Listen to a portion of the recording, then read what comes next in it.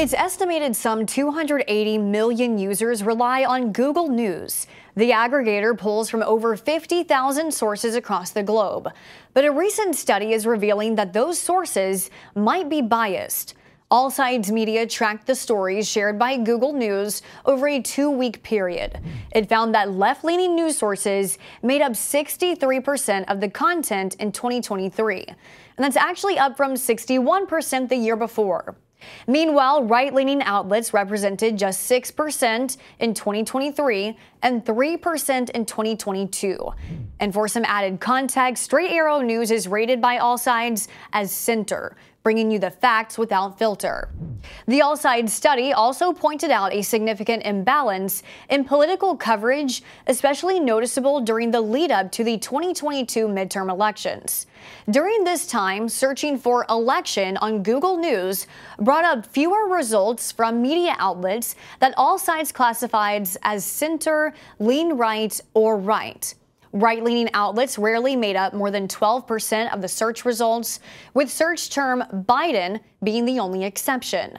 AllSides analysis of 494 homepage articles on Google News found that 8 out of the top 10 sources predominantly featured a lean left or left bias. AllSides discovered similar left leaning biases in Bing News, Apple News, and Yahoo News.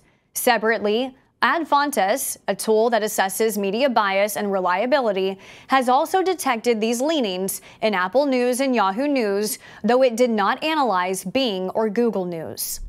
News aggregators aim to serve as neutral platforms, drawing content from a wide political spectrum.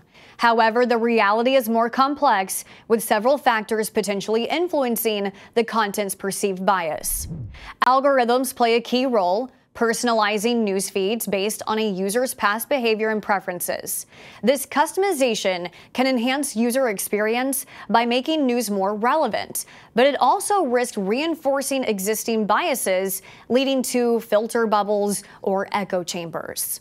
Additionally, user engagement through likes, shares, and comments plays a significant role in boosting stories, making them more visible without regard to political leanings.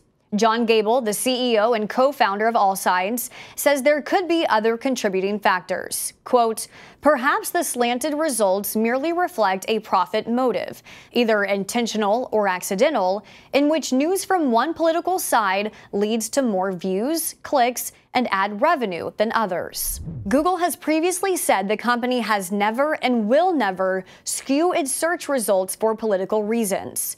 A report by The Economist in 2019 showed that Google's search engine assesses expertise and trustworthiness, but not ideology.